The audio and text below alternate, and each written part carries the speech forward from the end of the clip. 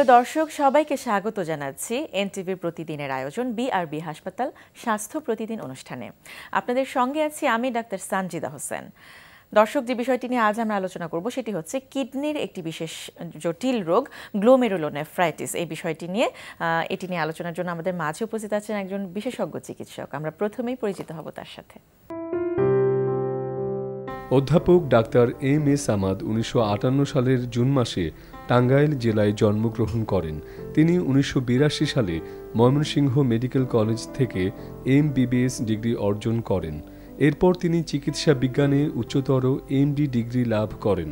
বর্তমানে তিনি বিআরবি হাসপাতালের কিডনি রোগ বিভাগের বিভাগীয় প্রধান হিসেবে কর্মরত। আপনাকে স্বাগত জানাচ্ছি স্যার আমাদের অনুষ্ঠানে। ধন্যবাদ। আপনাকে? নামটা একটু জটিল এবং রোগটিও একেবারে সহজ নয়। গ্লোমেরুলোনেফ্রাইটিস একটু জানতে চাইব আপনার কাছে কি রোগটি? আসলে গ্লোমেরুলোনেফ্রাইটিস নামটা আসছে যে কিডনির যে একক সেটাকে বলা হয় ন্যাফ্রন আর ন্যাফ্রনের যে অংশগুলো সেটা শুরু হয় এই গ্লোমারোলাস দিয়ে। গ্লোমারোলাস মানে একটা ছাকনি। সেই ছাকনি দিয়ে সেকে দেহের প্রয়োজনীয় অংশগুলো রক্তে থেকে যায় এবং অপ্রয়োজনীয় অংশগুলো সেটা প্রস্রাব আকারে বেরিয়ে যায়। কিডনির প্রধান যে কাজটা। যে কাজটা সেটা হয়ে থাকে। তো গুলমারুলো নেফ্রাইটিস বলতে এটাই বোঝায় যে সেখানে যদি সেই যে ছাকনিগুলো আছে সেখানে যদি কোনো কারণে প্রদাহ যদি হয় সেটা অনেক অনেক কারণে হতে পারে। তো সেই কমন নামটা হলো নেফ্রাইটিস যে কোনো। কারণে হোক না কেন। কি হয়? সব রোগেরই তো কিছু লক্ষণ থাকে কিছু উপসর্গ থাকে যা দেখে বোঝা যায়। তো নেফ্রাইটিসের ক্ষেত্রে সাধারণত কি ধরনের লক্ষণ প্রকাশ পায় এবং কাদের আসলে সাধারণত এই সমস্যাটি হয়ে থাকে? আসলে নেফ্রাইটিসটা লক্ষণ যদি বলি কিছু কমন লক্ষণ আছে এটার। সেটা হলো যে প্রথমেই দেখা যায় যে যার নেফ্রাইটিস হয়েছে তাদের চোখের পাতাগুলো একটু ভারী ভারী থাকে। ঘুম থেকে উঠলে দেখা যায় যে চোখের যে নিচের পাতাটা আছে একটু ফুলা ফুলা। আচ্ছা। আস্তে আস্তে সমস্ত মুখমণ্ডল ফুলে যায়। তারপর যদি খুব অ্যাডভান্স স্টেজে যায় তখন পায়ে পানি এবং সারা শরীরে আস্তে আস্তে পানি চলে আসে। তবে শুরুটা শুরুটা কিন্তু হয় মুখ থেকে সাধারণত। আচ্ছা। এই পানির কথাই যদি বলি আবার যদি যেমন ধরেন লিভার সিরোসিস যদি হয় বা সেল ক্রনিক লিভার ডিজিজ হলে তাদের কিন্তু পানি আসে। হ্যাঁ, হ্যাঁ। তাদের কিন্তু পানি আসাটা সাধারণত শুরু হয় পেটে থেকে এবং তাদের মুখ ফোলার পরিবর্তে মুখটা বসে যাওয়া থাকে চোখগুলো গড়তে যাওয়া থাকে। আচ্ছা। আবার যদি হার্টের কারণে যদি বলি যে পানি আসে সেক্ষেত্রে দেখা যায় পানি আসা শুরু হয় পায়ে থেকে। তো গ্লোমারোনেফ্রাইটিসের পায়ে পানি আসা শুরু হয় মুখে থেকে এবং এদের দেখা যায় সাথে সাথে প্রস্রাবের পরিমাণ কমে যায়। কারও প্রস্রাব লাল হতে পারে অর্থাৎ প্রস্রাবের সাথে রক্ত যেতে পারে। এবং এটা চেনার খুব সহজ উপায়। যদি দেখা যায় কারও মুখ ফুলে গেল শরীরে পানি আসলো প্রস্রাবের পরিমাণ কমে গেল এবং প্রস্রাবের রঙটা একটু লালচে হচ্ছে। তাদের যদি শুধু রুটিন যে প্রস্রাবের যে পরীক্ষাটা আছে সেখানে যদি দেখি প্রোটিন যায় কিনা যদি প্রোটিন যায় এবং সেই সাথে কোনো কোনো ক্ষেত্রে রক্তকণিকা যেতে পারে তাহলে ডেফিনেটলি বলতে পারি যেটা নেফ্রাইটিস আচ্ছা আমি একটু বয়সের কথা জানতে চাইব যে কোন বয়সে সাধারণত এটি বেশি হয়ে থাকে?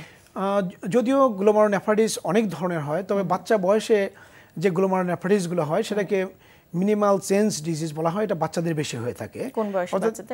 সেটা একদম দুই বছর বয়স থেকে শুরু হয় এবং সেটা ষোলো বছর বয়স পর্যন্ত হতে পারে। আচ্ছা। তবে আরেকটা বাচ্চাদের তুলনামূলক বেশি হয় সেটা হলো যেটা পোস্ট ইনফেকশাস গ্লোমারোনেফ্রাইটিস বলে যে বিশেষ করে শীতকালে বেশি হয় যেগুলো যে গলায় ইনফেকশন হলো অথবা স্কিনে যে খুশপাসটা তো শীতকালেই বেশি হয় কারণ এরা গোসল করতে চায় না একই অনেক সময় দেখা যায় যে একই লেপের নিচে কয়েকজন শয়। হ্যাঁ, কাজে হ্যাঁ, একজনের হ্যাঁ। যদি কোনো স্ক্যাবিস হলো বা চুলকানো হলো সেগুলো একজন থেকে আরেকজনে আরেকজন থেকে আরেকজনে যায়। আর চুলকাতে চুলকাতে যে ওখানে দেখা যায় একটু ওখানে আচর লেগে গেল বা ক্ষত হলো ওখানে ইনফেকশন হয়ে একটু পাস হলো। তো ওই যে ইনফেকশন হয় স্টেপটোককাস দিয়ে অথবা ঠান্ডা লাগল গলায় ইনফেকশন হলো সেখানেও এই স্টেপটোককাস দিয়েই বেশি হয়ে থাকে। এবং সেই ইনফেকশনের কারণে তখন তাদের নেফ্রাইটিস হয়। এটাকে পোস্ট ইনফেকশাস বলা হয়। তো আচ্ছা। আগে তো শুধু বলা হতো যে স্টেপটোককাস দিয়ে হয় যার জন্য খুব সংক্ষেপে বলা হতো পিএইচজিএন মানে পোস্ট এট স্টেপটোককাস গ্লোমারোনেফ্রাইটিস কিন্তু এখন কিন্তু দেখা যাচ্ছে যে অনেক ধরনের ম্যালেরিয়া বলেন ডেঙ্গু বলেন ভাইরাল ফিভার যে কোনো কারণেই কিন্তু যে কোনো ইনফেকশন মারাত্মক ইনফেকশন হলে তাদের তার কারণে এই গ্লোমারোনেফ্রাইটিস তার হতে মানে ইনফেকশন থেকে গ্লোমেরোনেফ্রাইটিস হতে পারে। সেটি কিন্তু অনেকে জানে না বা বোঝেও না। তাহলে এই সময়ে যে শীত বাড়ছে এবং আপনি বলছিলেন বেশ কিছু সমস্যা বা স্কিনের সমস্যা হওয়ারও ঝুঁকি রয়েছে তার থেকে আসলে প্রতিরোধের উপায় কি যাতে নেফ্রাইটিস বা গ্লোমেরোনেফ্রাইটিসের দিকে যাতে না যায় সেটি একটু জানতে চাই সেটার জন্য আমাদের তাহলে আমরা যেটা জানলাম যে এদের বেশিরভাগ ক্ষেত্রেই যে ইনফেকশন থেকে হয় সেটা হলো গলা ব্যথা এবং স্কিনের ইনফেকশন থেকে। সেজন্য স্কিনে যাতে ইনফেকশন না হয় সেজন্য নিয়মিত তাদের গোসল করতে হবে পরিষ্কার পরিচ্ছন্ন থাকতে হবে এবং চার্জার যার যার কাপড় চোপড় আলাদাভাবে পরা সবসময় ভালো ইউজ করা ভালো। এবং যখন দেখা যায় কিন্তু বেশিরভাগ ক্ষেত্রে স্ক্যাবিজের ক্ষেত্রে একজন হলে সবার সবারই ছড়ায় কারণ এটা খুবই সোয়াস এটা হ্যাঁ, হ্যাঁ। একজনের গায়ে টাচ লাগলে আরেকজনের চলে যেতে পারে এবং বিশেষ করে যে কাপড় চোপড় যেগুলো ইউজ করে লেপ তোষক কাঁথা যেগুলো ইউজ করছে ওগুলোর মাধ্যমে বেডশিট এগুলোর মাধ্যমে কিন্তু সবচেয়ে বেশি ছড়িয়ে থাকে। হ্যাঁ, কাজেই কারও যদি কখনো হয়ে যায় তাকে একটু আলাদা করে রাখতে হবে এবং তাকে তাৎক্ষণিক ওষুধ কিন্তু খুব সহজ এই যে খুশ পাসরা হলে। তো সেই ক্ষেত্রে আহ, তাদের ওষুধগুলো যারা চিকিৎসাটাও সবার একসাথে নিতে হয়। একসাথে নিতে হবে। যারা যারা এফেক্টেড আছে প্রত্যেকের একসাথে নিতে হবে এবং তাদের যে কাপড় চোপড় যেগুলো আছে সেগুলো একদম গরম পানি দিয়ে সিদ্ধ করে ধুতে হবে হবে। আর যদি সেটা সিনথেটিক থাকে তাহলে ইস্ত্রি করে লন দিয়ে একদম সেইগুলাকে মানে আহ, ইস্ত্রি করতে হবে যাতে কোনো জীবাণু বা তাদের যদি কোনো ডিম থাকে সেগুলো যেন সব মারা যায়। পুড়িয়ে ফেলা যায় সে আচ্ছা। করতে হবে। তো এই স্ক্যাবিজ থেকে হ্যাঁ ঠিক আছে আপনি শেষ করেন তারপর। দ্বিতীয়ত যদি স্ক্যাবিজ বা গলায় যদি ইনফেকশন হলো ইনফেক্টেড যদি থাকে সেগুলোর তাৎক্ষণিক চিকিৎসা করতে হবে। এই জন্য যে যে যে জীবাণু দেওয়া হয় এগুলো কিন্তু আমাদের যে খুব কমন অ্যান্টিবায়োটিক যেগুলো যেমন ফেনক্সিমেথাল পেনিসিলিন পেনভিক বা বিভিন্ন নামে এগুলো ওরাসিন কেগুলো নামে পাওয়া যায়। ওরাসিনকে নামে খুবই এগুলো যদি যে যদি বাচ্চা থাকে তাহলে দুইশো পঞ্চাশ মিলিগ্রাম করে দিনে দুইবার করে যদি দশ দিন খায় হয়ে যায়। আর যদি বড় থাকে একটু বয়স বেশি থাকে বা ওজন বেশি থাকে বারো বছর পরে হলে পাঁচশো মিলিগ্রাম দিনে দুইবার করে যদি দশ দিন খায় তাহলে কিন্তু এটা হওয়ার সম্ভাবনা অনেক অনেক অংশেই কমে যাবে। কাজে এই অ্যান্টিবায়োটিক অথবা যদি কাছের যে কোনো চিকিৎসকের স্বর্ণাপন্ন হলে ওনারা দেখে এটার চিকিৎসা দিয়ে দিবেন। অবশ্যই সাথে স্ক্যাবিসের ট্রিটমেন্ট দিবেন এবং সেই সাথে ইনফেকশনের ট্রিটমেন্টও দিয়ে দিবেন এবং তাতে করে ইনফেকশন হওয়ার সম্ভাবনা অনেক অনেক কমে যাবে। আচ্ছা। আর একদম প্রাইমারিলি যাতে ইনফেকশন না হয় সেজন্য তাদের পরিষ্কার পরিচ্ছন্ন থাকতে হবে। গলায় যাদের ঠান্ডা না লাগে যাদের ঠান্ডা লাগার প্রবণতা আছে ওদের শীতের যে কাপড় আছে জড়িয়ে রাখতে হবে এবং সাথে গলায় মাফলার বা কোনো কাপড় জড়িয়ে রাখা তাদের জন্য ভালো যাতে গলায় বারে বারে যাতে ইনফেকশন না হয়। স্ক্যাবিজ খেয়াল বা গলার সমস্যা থেকে যদি গ্লোমেরোনেফ্রাইটিস হয় বা হওয়ার পথে আসলে কোন বিষয়গুলো দেখে বোঝা যাবে যে তার এই সমস্যাটা হতে যাচ্ছে বা সে সেই ঝুঁকিতে আছে? সেটি একটু আচ্ছা। জানতে চাইব। এটা একটা সুন্দর প্রশ্ন আমি বলব যে আমরা মনে করি যে স্ক্যাবিজ সাথে সাথে গলা শরীর মুখ মধ্যে ফুলে যাবে তা না। কারণ হচ্ছে কি যখন ইনফেকশন হয় যেই যে স্টেপটোকাস বা যে জীবাণুগুলো আছে তো সেই জীবাণুগুলোর যে চেহারা আর যে আমাদের যে ছাকনি আছে কিডনির ছাকনির চেহারা অনেকটা একই রকম। তো যে কোনো জীবাণু ঢুকলে আমাদের শরীর কি করে? ওদের বিরুদ্ধে একটা প্রোটিন তৈরি করে যেটাকে অ্যান্টিবডি বলে। সেই অ্যান্টিবডি সেই জীবাণুটাকে মেরে ফেলে। এখন যখন একটা জীবাণু ঢুকলো তার বিরুদ্ধে অ্যান্টিবডি হয়েছে। যেহেতু ওই জীবাণুর চেহারা আর আমাদের ছাকনির চেহারা একরকম সেজন্য সে কি করে? দুটোকে আক্রমণ করে। আচ্ছা। একদিকে না চিনে ভুল করে সে নিজের দেহের ছাকনিটাকে আক্রমণ করে দেয়। তো এই যে মানে অ্যান্টিবডি তৈরির জন্য একটা সময় এই জন্য দেখা যায় যে সাধারণত দুই থেকে চার সপ্তাহ সময় লাগে। সেই জন্য দেখা যায় যে স্কিনে ইনফেকশন হলে সাধারণত তিন মানে দুই থেকে চার সপ্তাহ আর যদি গলায় ইনফেকশন থেকে যদি হয় তাহলে এক দুই সপ্তাহ পরেই তাদের যদি দেখা যায় যে মুখ টুক ফুলে যাচ্ছে শরীর ফুলে যাচ্ছে তাহ এবং সেই সাথে প্রস্রাবের রং লাল হয়ে যাচ্ছে অনেক সময় প্রেশার বেড়ে যায় হাই প্রেশার হয়ে যায় এবং বাচ্চাদের ক্ষেত্রে দেখা যায় হাই প্রেশার নিয়ে তারা হার্ট ফেলিওর নিয়ে আমাদের কাছে আসে। কারণ এত বেশি প্রেশার বেড়ে যায় যে প্রেশার বেশির জন্য তাদের হার্ট ফেলিওর হয়ে বোঝা কি যায়? তখন যে বাচ্চাটার এই সমস্যা হচ্ছে বা তার প্রেশার রাইজ করছে বাচ্চাটাকে দেখে কি বোঝার উপায় আছে? তার দেখে যেটা বোঝা যায় যে তার মুখ টুক ফুলে দেখে এবং প্রস্রাব কমে যাচ্ছে এবং শরীর দেখা যায় ফুলতে থাকে কিন্তু অনেক ফুলে যায় তা না। কিছু কিছু দেখা যায় শরীরে পানি সেই সাথে বাচ্চা দেখা যাবে যে একটু পরিশ্রম করলে একটু দৌড়ালে হাঁপিয়ে যাচ্ছে। অল্পতে হাঁপিয়ে যাচ্ছে। তখন বুঝতে হবে যে খুব অল্পতে হাঁপিয়ে যাচ্ছে শরীরটা ফুলে তাহলে তার আগে আহ, খুশপাসরা হয়েছিল অথবা গলায় ব্যথা হয়েছিল তাহলে এটা সাধারণ মোস্ট লাইকলি যে এটা তার মানে পোস্ট ইনফেকশাস গ্লোমারোনেফ্রাইটিস এটা একটু তখন অবশ্যই বিশেষ অবশ্যই একজন কিডনি বিশেষজ্ঞ শরণাপন্ন হলে উনি তাৎক্ষণিকভাবে প্রস্রাবটা পরীক্ষা করে এবং রক্তের আরও কিছু পরীক্ষা আছে করে ডিটেক্ট করতে পারবেন যেটা ইনফেকশন থেকে তার নেফ্রাইটিস হয়েছে। হয়েছে। আমি একটু চিকিৎসার দিকে যেতে চাই। প্রতিকারের বিষয়ে অবশ্যই জানা দরকার যে আসলে কীভাবে এটি ম্যানেজ করেন আপনারা। অ্যাকিউটের ক্ষেত্রে এবং যে কোনো গ্লোমেরুলোনেফ্রাইটিসের ক্ষেত্রেও।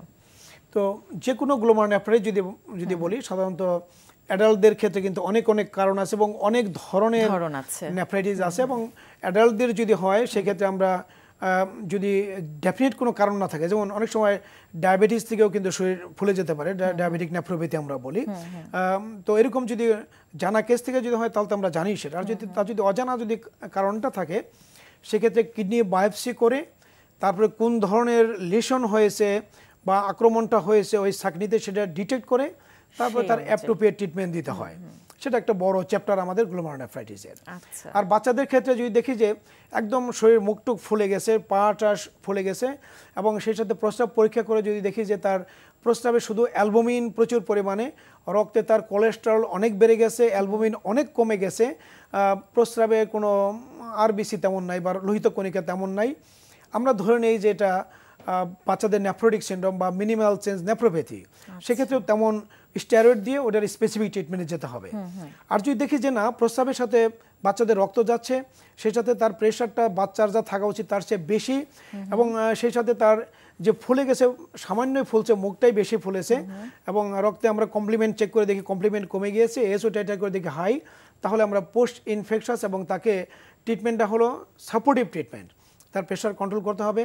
অতিরিক্ত পানি যেটা আছে, শরীর থেকে বের করে দেওয়ার জন্য ডায়োটিক দিতে হবে এবং সে সাথে একটা অ্যান্টিবায়োটিক দিতে হবে যে জীবাণুটা ছিল সেটাকে মেরে ফেলার জন্য।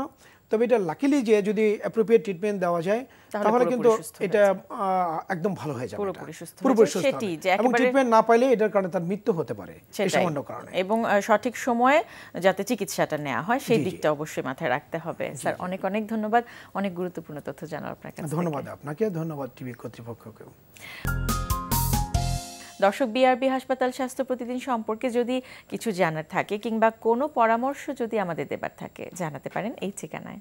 প্রযোজক বিআরবি হসপিটাল স্বাস্থ্য প্রতিদিন এনটিভি বিএসইসি ভবন সপ্তমতলা, একশো দুই কাজী নজরুল ইসলাম অ্যাভিনিউ, কারওয়ান বাজার, ঢাকা এক দুই এক পাঁচ। ফ্যাক্স নম্বর নয় এক চার তিন তিন আট ছয় থেকে সাত পর্যন্ত। ইমেল বিআরবি হসপিটাল স্বাস্থ্য প্রতিদিন at the rate NTV BD dot com প্রিয় দর্শক, আপনার প্রিয় অনুষ্ঠান বিআরবি হাসপাতাল স্বাস্থ্য প্রতিদিনের আগামী পর্বে আপনাদের জন্য যা থাকছে।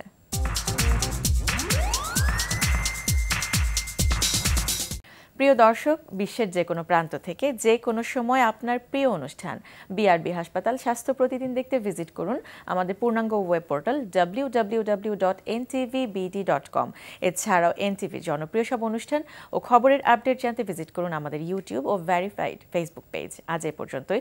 সবাই ভালো থাকুন, সুস্থ থাকুন। আগামীকাল আবারও দেখা হবে ঠিক একই সময় এনটিভি পর্দায়।